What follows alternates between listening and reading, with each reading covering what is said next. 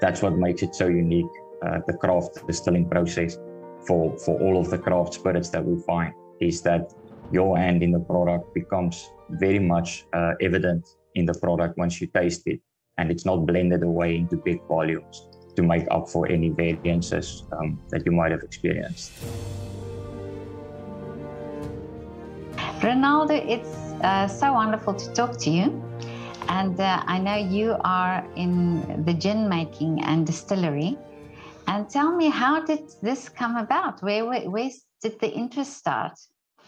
So we actually started while I was still in high school. Uh, my brother still came up with the idea of distilling. I don't know where he got it from, uh, but coming from a small farming community, uh, it's a common hobby amongst the farmers to ferment whatever they can and distill in their garages. And my father and my brother started building a still and fermenting everything and yeah, anything they could they get their hands on, they would ferment really? or they would crush it and ferment it and distill it in a in an old copper geyser that they they converted to a copper still.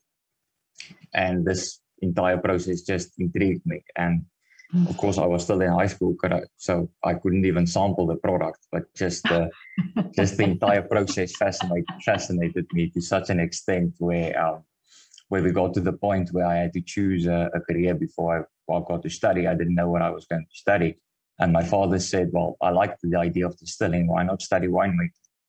So oh. that's that's how that started. So, did you have to study winemaking first then? Yes. So in South Africa, there's not really a tertiary qualification that that best equips you to be a distiller. Um, so I thought that winemaking. I studied specialized enology, uh, which means that it's winemaking with the viticulture, along with uh, mainstream chemistry. So the organic chemistry uh, part, along with that, um, I think helps in in becoming a distiller. So that just helped explain the entire process of distillation a little bit better to me and there's also a module within the winemaking uh, course that we do um, that we cover distilling. So everything distillation is covered, and yeah. So I thought that's the that the be- that's the best course for me to study to get into yeah. the distilling field. But now you're talking about fermenting, so uh, the, uh, and and this is what winemaking is also. This is also part of winemaking. So, are there some uh, things that that in this process uh, that would be the same as, for instance, uh, in winemaking? Yes. So winemaking, in essence, uh, makes the base for what we distill. So oh. um, in distillation, we don't create alcohol; we just rectify it and we purify it to an higher alcohol percentage. Um, so what we do is we need to ferment anything with uh, sugars. So if we start with something like a, a grape base, grapes have sugar in, so we need to ferment the sugars first, and then we can make more wine from them. And when we distill the wine, that's when we get to a, uh, an unaged brandy, and we can then put that in a barrel and get uh, what we know as brandy. Um, some of the other substrates are a bit more complex, um, like a whiskey, for example, where your sugars are not in a fermentable stage at the moment. So you need to first uh, convert all your starches to fermentable sugars uh, and then you'll ferment it, and then also through a distillation. So the distillation this just adds another step to what you already have in the complexity of uh, of winemaking and fermentation that comes beforehand. And how much do you intervene uh, with with chemicals and so and how much is, is of this process is really natural just a natural fermentation process so everything is is natural up to the point basically where uh, where we get to uh, get to distill the product. So everything is still up to nature. So the whole products that we use still has has an influence from uh, whatever uh, terroir it was in before we harvested. So even if you use um, a barley, for example, for uh, for distillation, then into a whiskey, everything in terms of the environment has an has an uh, effect on that beforehand, and then you get the intervention from the agronomist, for example, to make sure that the barley is grown to the correct specifications for us to be able to to mash and, and ferment and distill it. Um, and through the constant intervention then from people throughout the process, all of it adds some sort of character or some sort of uh, uniqueness to the product that you end up with. Um, so um, simple things like uh, whatever you do in the vineyard, the viticulturist plays an enormous role there in uh, in even the selection before the vines are planted. Of course, from a winemaking side, they would know that as well. Um, and through all that intricacies uh, and the and the influence that the viticulturist adds is then complemented by what the winemaker does with it, and then the distiller takes it even further um, and uh, needs to to be quite uh, strong sensorially as well to be able to blend the different products that's been distilled. So we basically get to select which parts of the volatile components that's responsible for the flavor we would like to use and which we don't. Oh, I see. So, and you have to now buy from, so you go to a, a, farmer and you buy from their grapes. So you don't grow everything yourself. No. So um, it, it makes it makes it easier for us to uh, to be able to select the grapes that we want. So the winemakers would get the specification to which they can deliver the wines then. Um, so coming from our wine background, um, we already know what specifications they need to to adhere to to be able to produce a wine that's of good quality. And a common misperception is also that you can ferment anything that goes off. So anything that you can't use for table wine, you use for brandy, which is very much not the case. Uh. You need to be able to make good wine to make good brandy. So you can't make a good brandy from uh, from a poor wine. And do you use other fruits as well for your for your distillery? Yes, so when I when I started initially, I started off uh, at the small distillery in Stellenbosch. Uh, we did uh, oranges and lemons, and also a big um, a big tonnage of apricots um, and pears as well that was exported to the uh, to the German market. So essentially anything that can that can ferment um, can be distilled. So we did a lot of, uh, like I said, oranges, apricots, pears, um, we then worked over to gin. Uh, I've worked a lot with brandy as well. And then I moved over, over to the gin distillery where we buy in an alcohol that's already distilled to a high purity for us. Uh, and then we would add the botanicals to get the flavors of the gin. Okay. So you don't make the alcohol of the gin itself? If It depends on the gin that we make. So in, in the style gin, the, Nor- uh, the London dry style gin, we would buy in neutral alcohol because we would like the botanicals to add flavor. And our approach then and our intervention then would be to select the botanicals uh, that we want to be present in our gin and also see how they influence each other. So um, as the botanicals that we need to source, we need to source from uh, when we started with recipe development, we started with five or six different suppliers for each of the botanicals um, and we would evaluate them individually and then also see how they would compare to the other botanicals once they are in the pot. So it comes down to even selecting the varieties uh, of the different botanicals that we'll be using um, and also then again how they would influence each other in the pot and the alcohol percentage at which they are placed in the pot also has another influence and then the entire distillation process has an influence and then also making this different cuts uh, to select the parts that we would use in the product. So there's there's constant intervention and um, and selection that goes on uh, throughout the selection process. But you're talking about a lot of variables. So, uh, you know, it's not a straightforward process, this whole gin making. So every time you drink a gin, you shouldn't think this was just easy peasy done.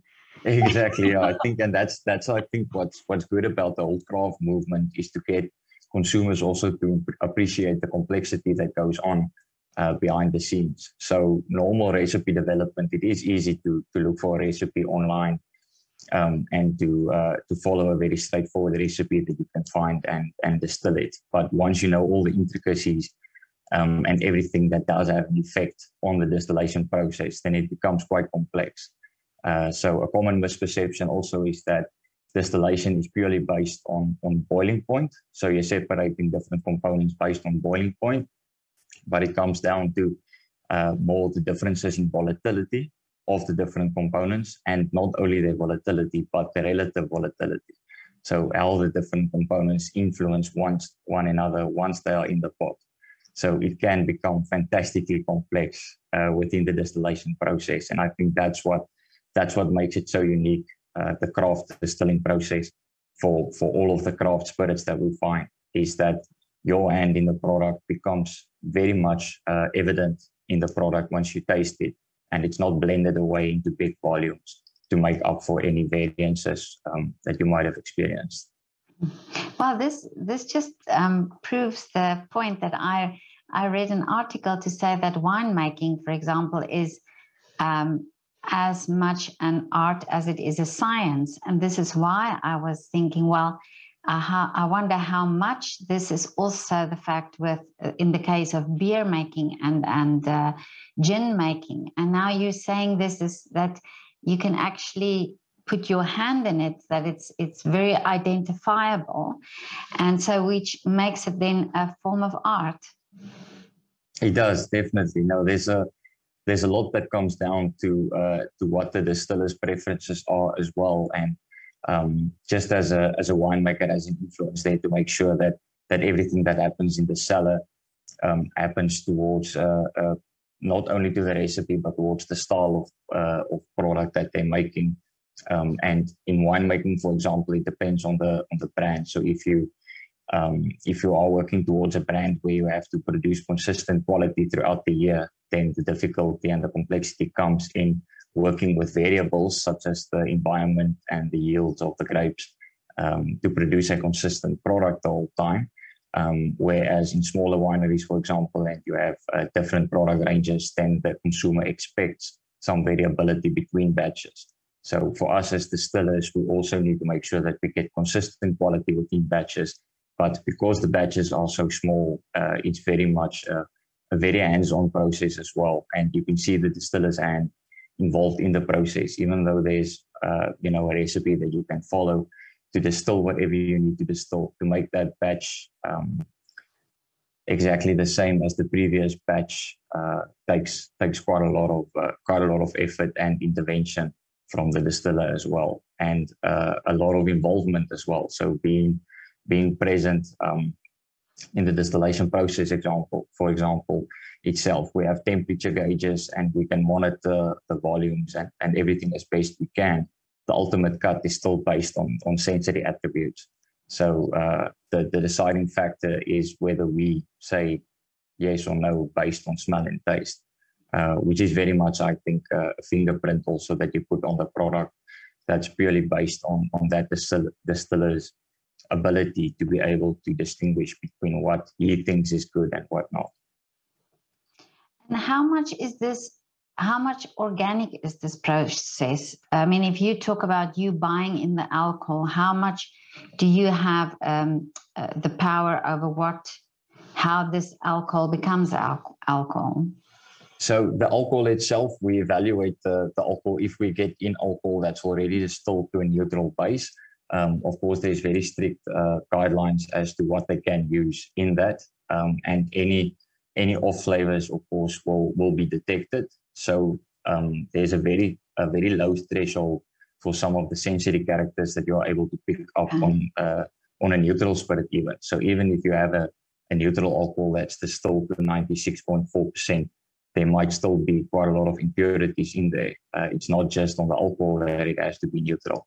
So when I previously made brandy for a large site, um, we also distilled alcohol to a very, very high alcohol percentage, and you needed to be able to smell and taste to make sure that it's it's still neutral. So in that sense, we do get validation that the product is is completely neutral. There's nothing added to it. Otherwise, the alcohol percentage wouldn't be that high, and that just testifies to the high alcohol strength um, and also the purity of the alcohol as a base. And that then helps us to, to make sure that the botanicals where the product flavor basically comes from would shine. So that means that okay. all the botanicals that we also get in, we would smell and, and taste some of them. It's not always a pleasant process tasting yeah. some of the botanicals neat, but we do know how the botanicals should taste. And there's a certain character that we look for in all of the botanicals. So we need to evaluate that as we get that in as well to make sure that every single component that goes into the product uh, it meets our standards.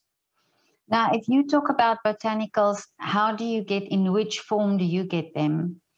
So it depends uh, basically on the recipe. So some botanicals would be better um, when they are ground up, whereas others would be better uh, in a powder, or some would be better to be added all. So that also comes in combination with the alcohol strength that we charge the pot with.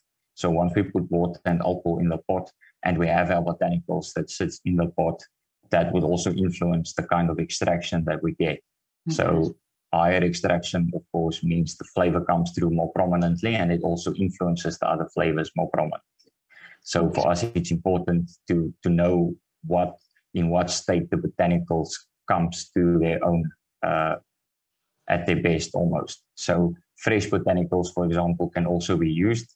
Um, you need to know where you can put them. For example, uh, orange peels and lemon peels, some of your citruses, you would like to put them somewhere in the vapor path because their oils are more subtle and you need a subtle extraction of that. Whereas the botanicals, where you need a harsher extraction, like your berries and your roots, for example, you can have them ground up depending on the style of gin um, and have them placed directly in the in the alcohol. So it depends basically on the on the extent of extraction that you're looking for. This this sounds very intelligent for my blonde head. no, it's we we really always. I'm really concentrating here. we we always tell people when they look at the pot still, um, you need to gauge as well what the interest is from their side. If you are um, you know, going a bit more technical or, or not oh, okay. that technical. And sometimes they would say, well, this is this is very simple. It's a very simple process. And we always say that it is it is as complex as you make it. If you uh, if you want to go into the chemistry side of it and you want to know exactly what goes on in the pot, yeah. for me personally, it helps me to understand the process a little bit better. It helps us yeah. to make less mistakes. So it's not as much trial and error as it is uh, calculated ventures. So okay. our, our trials would be would be very much worked out beforehand. We need uh, we need to know which oils are present. We need to know we need to know how they influence one another, and that just eliminates a lot of trial and error, and that could lead to to wastage. So we, we like to do a lot of calculations and our work before before mm. we we ever before we even get into the still house. Yeah. But now you said that when you were uh, a young boy, you, you and your dad and your brother, that you made this um, the, the, the alcohol. So why do you now buy in alcohol? Is it not easier to make your own? So depending on the style again of product that you would distill. So some gins are distilled from a base that they would have fermented themselves. Um, okay. That would they would add a lot of character to the gin.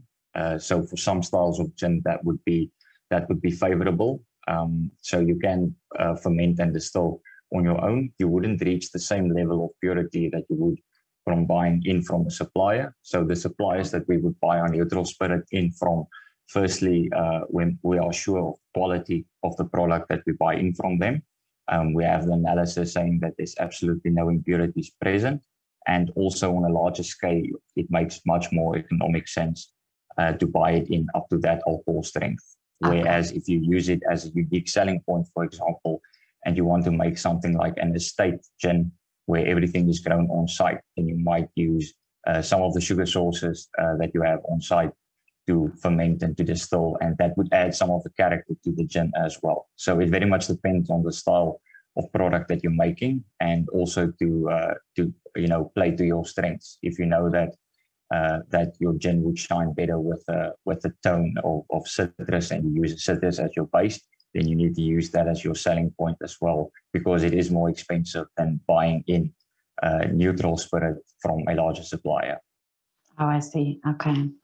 But now you started now your own distillery. Uh, yes. And, and, this is so exciting. Tell me about this. This now. is What's the extremely plan? exciting. So yeah. we uh, we were approached actually in the week that uh, that our baby girl was born. Um, yeah. I was approached by someone who saw us on uh, on kykNET um, on a short program that we were on kykNET on, and he approached us and said that he saw the the wonderful job that we did um, in erecting a gin distillery, and he would like us to be involved uh, on the production side to start up a new distillery. And wow. we've been in discussions now since January. Mm-hmm. And uh, I just, uh, at my last day of work last week, Friday, at my previous position. Um, so this is the first week now of designing a new distillery. So we're starting completely with a blank page. Uh, there's no infrastructure yet. Uh, we basically start by looking at the different products that we'll be making. Um, and along with that, we'll look at, uh, of course, all the equipment needed and to, to also have a bit of a sustainable approach. So we'll see how we can be as energy efficient as possible um, and also be as conscious of the environment as possible and a lot of homework. So uh, also looking at packaging from the beginning to end, a lot of market research, um, a lot of trials as well. So after everything's done on paper, we would start with the trials. So having a small trial still and seeing how how we can develop our recipes, and then we would uh, we would start building the distillery. So we're very much still still on a blank page with uh, with just the lines drawn in. So very exciting.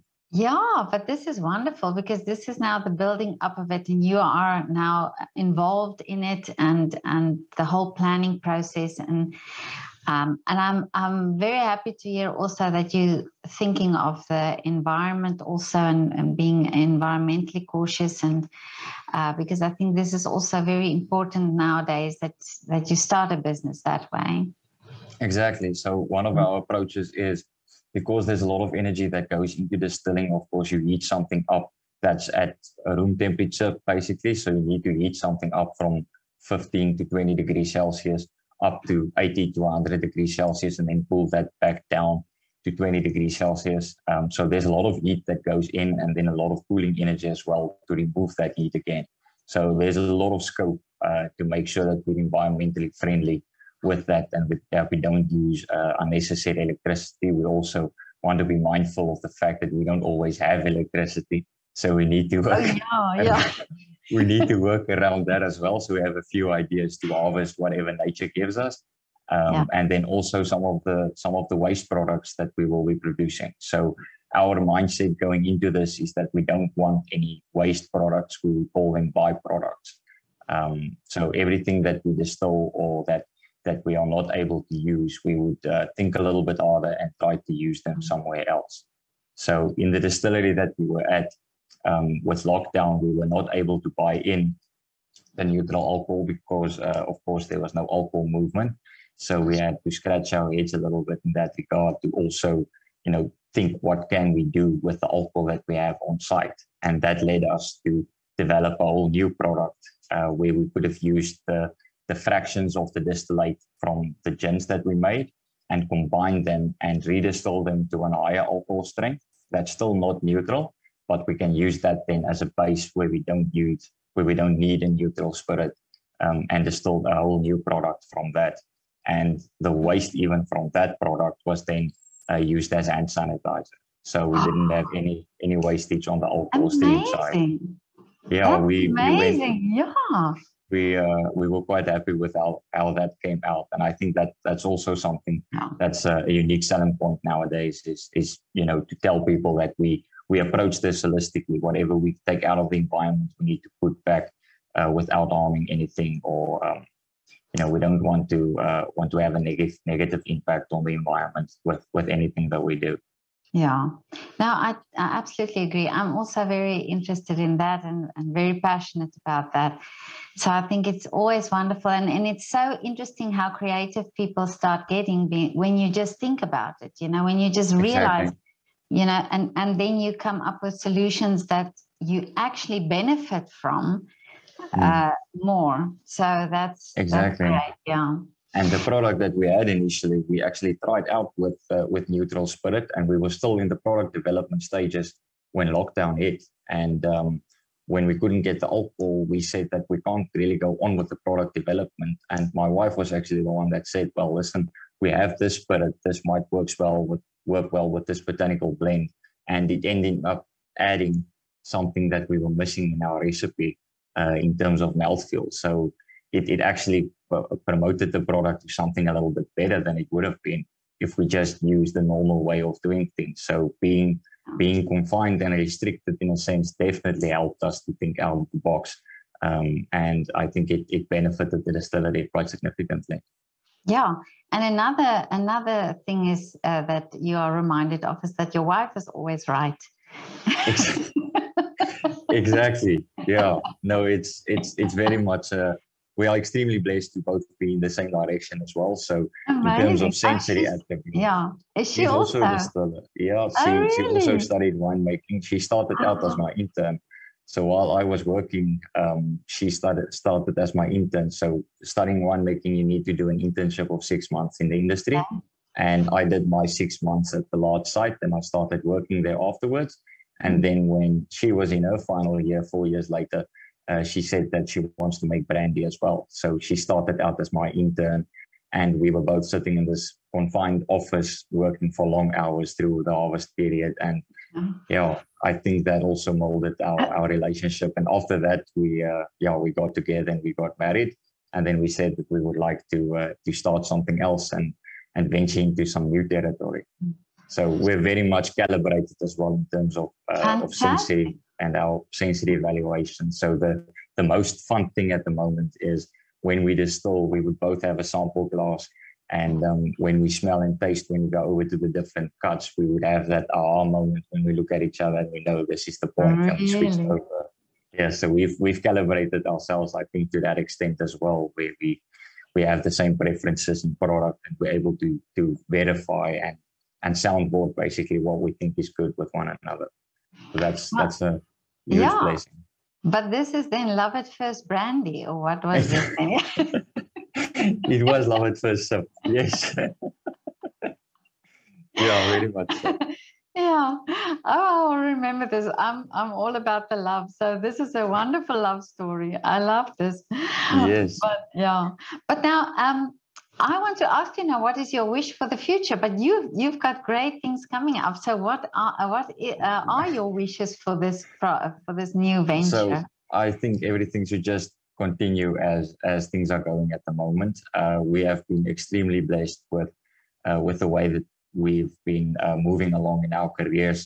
Um, like I said, we have a three month old daughter at the moment, um, so everything is just going extremely prosperous at the moment. We're very very thankful for that, and I think the biggest thing we should keep doing is also have faith that uh, that everything happens as it should and everything happens for a reason.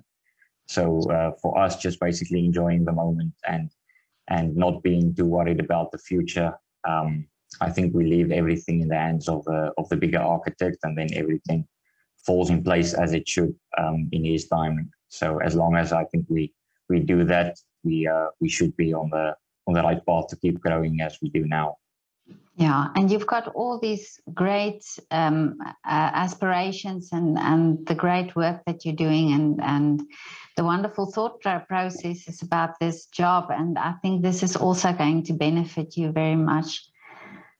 Yeah, yeah. I think we're we're extremely lucky to be uh, to both be in a um, in a career where it's it's actually a hobby of ours. So um, even if I'm if I'm not distilling at work uh, on a larger scale, I have my own small distilling setup that mm-hmm. I would distill at home still. So it's something that uh, that we found great love in, and being able to share that with my wife as well is just some, yeah. something exceptional. It's uh, yeah, we are very very blessed in in that regard in sharing the same hobbies and interests and um, yeah also being able to to work with each other which is not something that's very common yeah. for husband and wife team is to be able to, well, to work no, well with one another. Yeah, well, no, I know. I think you've got the you've got the hang of it. You've already listened to her before, so I think you've got you you've got you're in the right place. yeah, I, I I think we know how to handle each other as well. So I need to. She needs to let me understand. Listen, let it let him bump his head. He'll he'll yeah. come back around, and then oh, we'll, we'll see. Yeah, so we we found a way in which we complement each other quite nicely. Oh, this is such a beautiful love story, really. I think this is going to be such a great business for you as well. And um, and with your lovely daughter as well, um, that's there. So there's a lot of happiness, I think, for you at the moment. Definitely. Thank yeah. you so much, Petra. Yeah, we're, yeah. we're very, very blessed. We just moved to Paarl now. Um, oh, okay. And yeah. I love Paarl. I've, I've worked there while I was doing my studies as well. I did the harvest at a wine cellar in Paarl as well. So we're very happy to be back in Paarl, and now we're we're situated between our parents. So my parents is in, are in Durbanville, and uh, my wife Wilhelmina, her parents is in Worcester. So they are extremely oh, happy to have their grandchild yeah. out in the middle. Yeah, yeah. that's so we, such, we that is in the middle. Yeah, it's right yeah. in the middle. Yeah. Mm. Um, but now tell me, I just uh, as a um, uh, just a last question, can you do a shout out for a business in in Paarl? We can do it for a business in Paarl, a coffee shop or a restaurant that you love to go to? Yes. You, uh, yeah. So a very, very uh, a special a special restaurant in my heart, at least, where me and my wife had our first date uh, in Paarl is yeah. uh, it's Blacksmith's Kitchen. Yeah. Um, I am extremely fond of it. It's uh, I don't know if it's considered a, a, hidden gem, but it's just fantastically located, and uh, we try to to celebrate every special occasion uh, mm-hmm. that we can. We would uh, we would go there. So last year for Father's Day, we would we went there, and um, yeah, we would come all the way from Velddrif and get my parents in Durbanville, and then enjoy a nice meal at, at Blacksmith's Kitchen. Yeah, so we oh, that, that, that's so a very special place in my heart. Yeah, oh, this is now this is a special. This is the the most special shout out anybody has ever done. oh, this is well, you make my day today with these love stories. oh, we we're actually planning now. As soon as we get some of the some of the milestones set now for the new distillery. We need to go there again. Then we yeah, definitely. My wife and I would have been there for our first date. We were there when she was pregnant. We went there mm. to celebrate our uh, our our engagement before we got married, mm. even. So. Uh, yeah, a lot of uh, a lot and of milestones celebrated there. Yeah, another celebration there. Yeah. Yes. So now moving to Paarl, we need to celebrate that as well. Yeah. Finally, we stay close by. Oh, this is so wonderful.